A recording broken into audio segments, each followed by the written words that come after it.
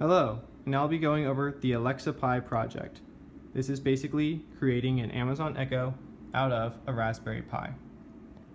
How we do this is we have Python script that's constantly looking for internet connection. When that's determined, we'll be able to record our voice, send that to a request to the Alexa voice service, and then have that play the response through a speaker. You can have the hardware working in a couple different ways. I have a physical button. You can either do it on a breadboard, but I have it set up currently through a Wii remote that connects through Bluetooth. So here's my Bluetooth dongle. So let's go ahead and plug in the Pi. We'll power it up, and you'll hear Alexa say hello when she's ready to talk.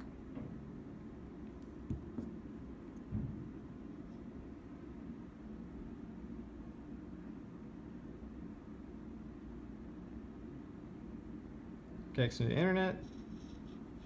You speaker come on. Hello. There she goes. Alright, so now the script is constantly looking for a connection through Bluetooth of the Wii Remote. So we'll hold down the 1 and 2 buttons at once.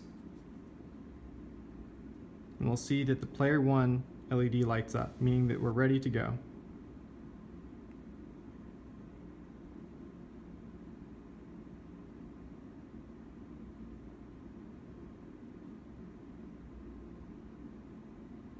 Alright, so we have a connection. Now I can press and hold down the A button, speak, and let go. Then I'll be able to send that recording to the Alexa voice service. You'll have different LEDs light up down here in the players 3 and 4 to indicate whether we are recording our voice, done recording and sending it to Alexa and she's processing, and then the third is when she's done processing and she's speaking back to you. Tell me a joke. Knock, knock. Who's there? Kanye. Kanye who? Kanye believe it? I tell jokes too. So that's basically what will happen. The player 4 LED will turn on when we're recording our voice. When I let go, the player 3 will also turn on, saying that we're sending it to Alexa. And then the player 4 will turn off, and only player 3 will be on, saying that she is currently speaking her response through the speaker. And then they'll turn off again and only player one will be visible, which lets you know that you can ask another question. Um, I also have it set up to where I can press right to turn on Philips Hue lights in the room and left on the Wii remote to turn them off. So you can do a whole lot of different things in the actual main Python script to incorporate different button presses.